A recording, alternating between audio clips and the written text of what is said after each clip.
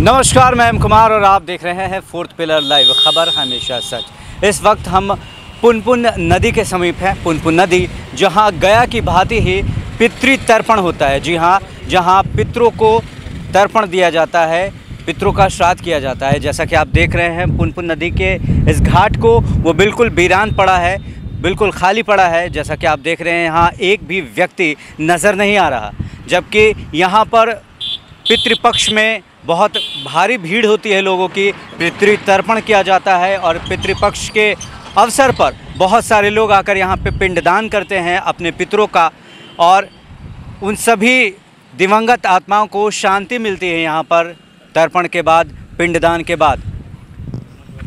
और ये सारा कुछ जो यहाँ पर देखने को मिल रहा है, ये कोरोना संक्रमण की वजह से है। आपको बता दें कि गया में भी पितृतर्पण होता है, सबसे ज़्यादा पितृतर्पण गया में ही होता है। उसके बाद पुनपुन ही वो स्थान है जहाँ सबसे ज़्यादा पितृतर्पण होता है।